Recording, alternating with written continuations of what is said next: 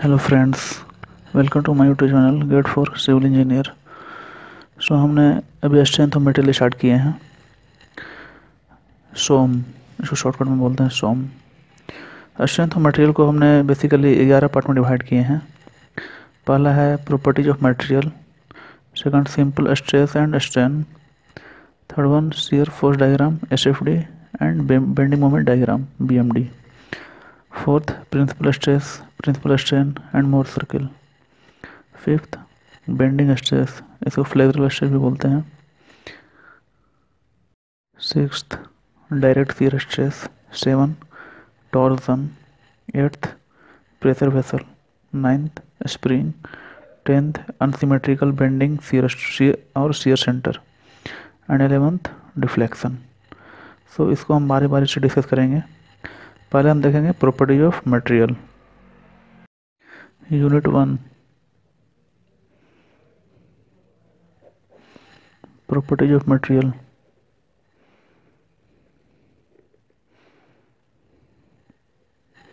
पहले हम कुछ बेसिक चीज़ देखेंगे। ठीक है? जिसको हमको जानना ज़रूरी है। Engineering science engineering science. इसको हम लोग पहले डिवाइड किए हैं तीन पार्ट में। Solid mechanics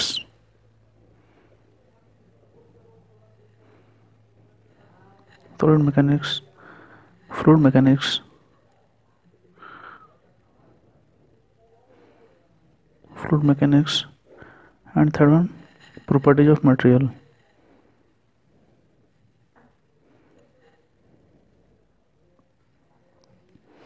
and solid mechanics को फर्दर हम दो पार्ट में डिवाइड किए हैं। Engineering mechanics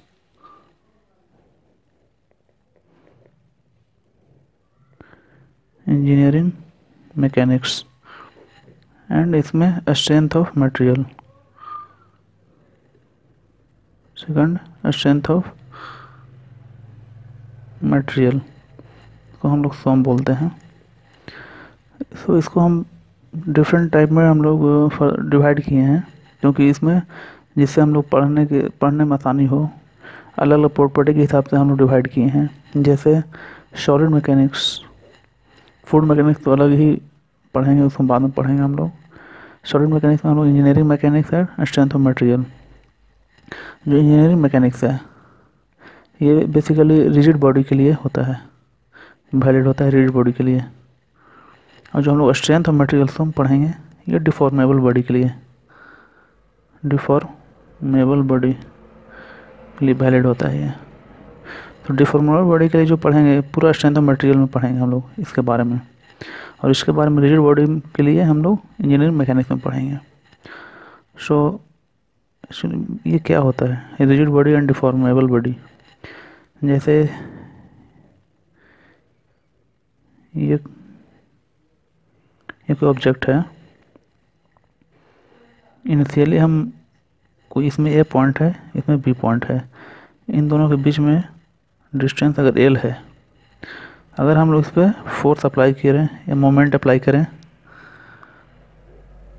तो कुछ देर बाद भी after after some time after time T ये दोनों के बीच जो डिस्टेंस है एल ही रह जाता है तो ये रिजिड बॉडी कहलाता है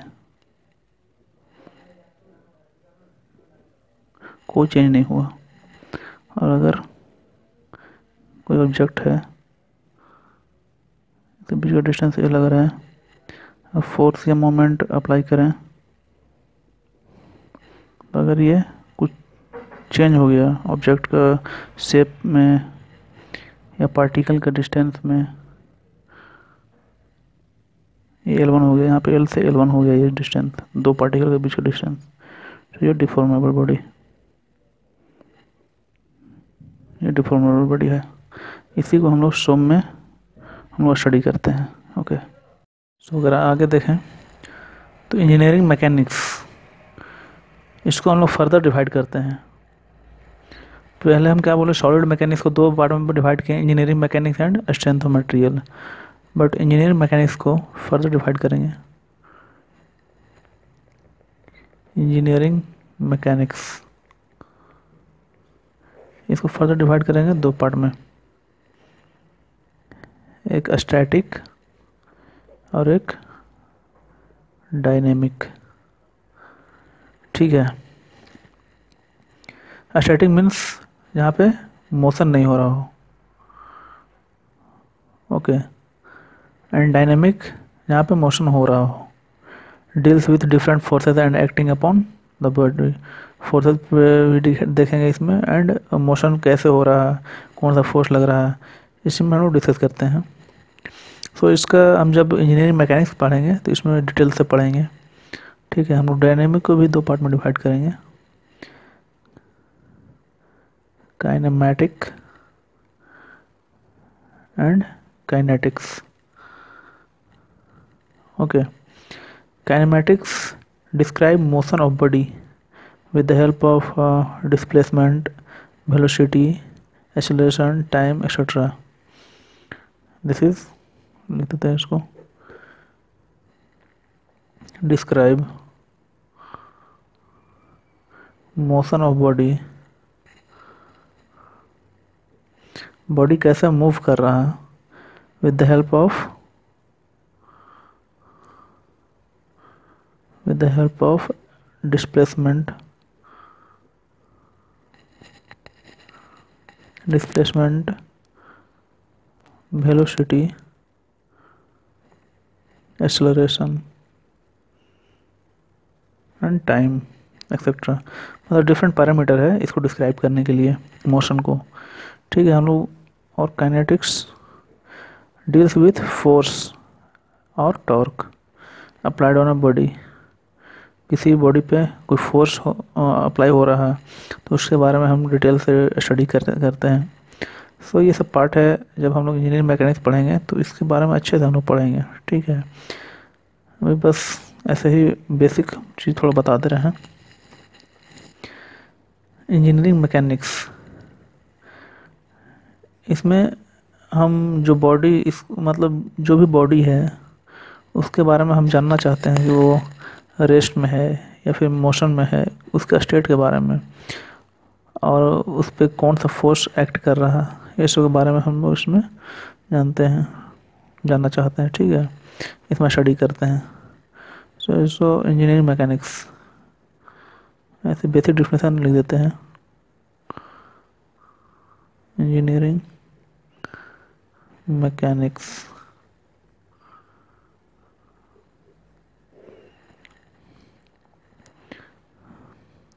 physical science. This is physical science.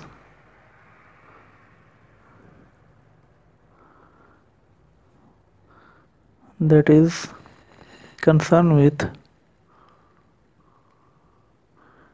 concerned with a state of a state of rest or motion of the body ठीक है। सब्जेक्ट टू क्या एक्ट कर? है force subject to action of force okay engineering mechanics में हम क्या बताए थे? स्टडी करते हैं। इसका एप्लीकेशन ऑफ़ रिजिड बॉडी पीछे हम बताए थे। Engineering mechanics in engineering mechanics we study the application of rigid body okay rigid body क्या हुआ क्या होता है वो भी हम बताएँ रिजिड बॉडी बताया था क्या होता है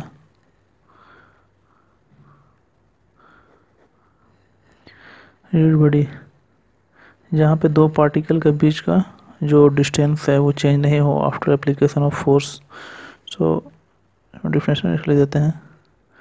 It is combination of large number of particle in which all particles remains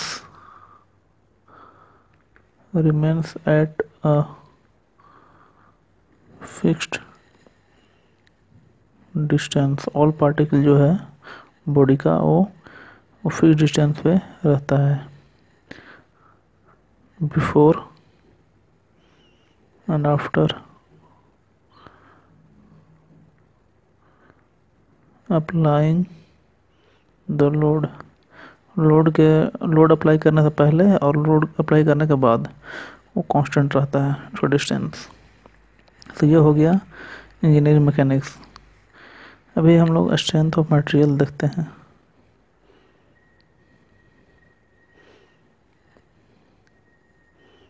Strength of material study the application of deformal body बताया था। We study the application of deformable body deformable body क्या होता है, ये भी हम बताए थे। रिजिड बॉडी में क्या बताया था जो ऑब्जेक्ट है, इसका जो पार्टिकल के बीच का जो डिस्टेंस है, ये कांस्टेंट रहता है। फोर्स अप्लाई करने के पहले और अप्लाई करने के बाद भी हमेशा कांस्टेंट रहता है बीच का डिस्टेंस बट इसमें स्ट्रेंथ ऑफ़ मटेरियल में डिफॉर्मेबल बॉडी इसमें चेंज होता है। Deformable body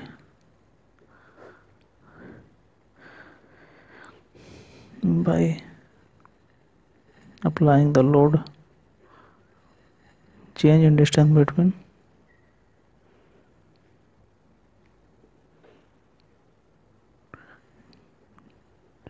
between two between any two point दोनों पॉइंट के बीच का जो डिस्टेंस है वो चेंज हो जाता है after applying a force after some time हमने पहले भी बताया थे यहाँ पे देखेंगे जो स्ट्रेंथ ऑफ़ मटेरियल है। ये बेसिकली जो हम लोग क्या बोला डिफॉर्मेबल बॉडी के लिए आ, इसको अप्लाई करने के लिए बोला स्ट्रॉन्ग जो स्ट्रेंथ ऑफ़ मटेरियल है। Application of deformable body but deformable body में भी दो तरह का हो सकता है। एक इलास्टिक और नॉन इलास्टिक सो हम लोग इसमें जो बात करेंगे, वो इलास्टिक बॉडी के लिए। सो हम बोल सकते हैं डिफॉर्मेबल इलास्टिक बॉडी ठीक है? अब इलास्टिक बॉडी भी दो तरह का हो सकता है। एक linear linear elastic body and non linear non linear elastic body जैसे हम एक स्ट्रेस स्ट्रेन अगर डायग्राम देखें, इसको हम डिटेल में स्ट्रेस स्ट्रेन डायग्राम जो हम डिटेल में हम आगे पढ़ेंगे, इसमें हम रफली बता देते हैं इसमें। ये स्ट्रेस स्ट्रेन डायग्राम है स्ट्रेस है, ये स्ट्रेन है। ठीक है।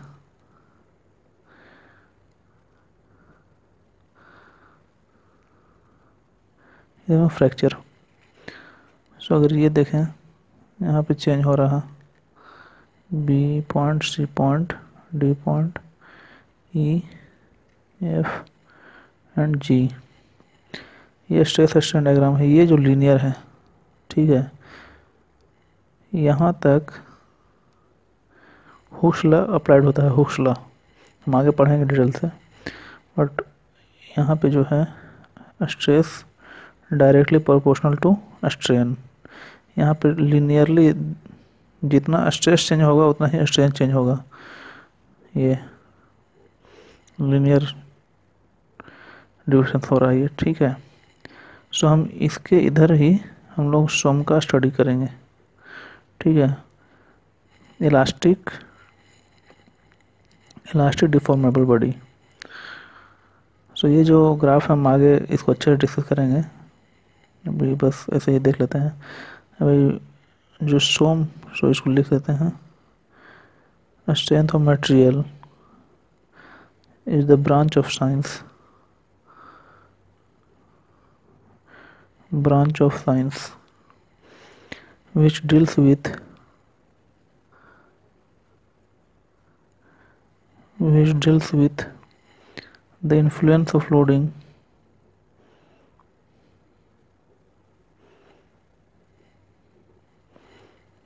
influence of loading on the deformable elastic body deformable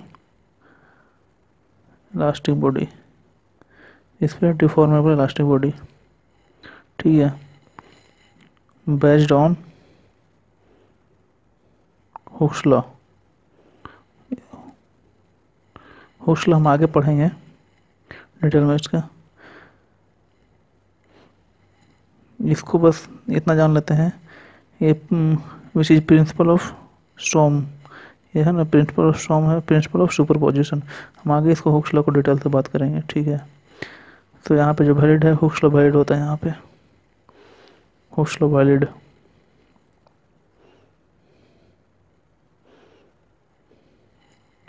सो ये बेसिक थोड़ा देख रहे थे।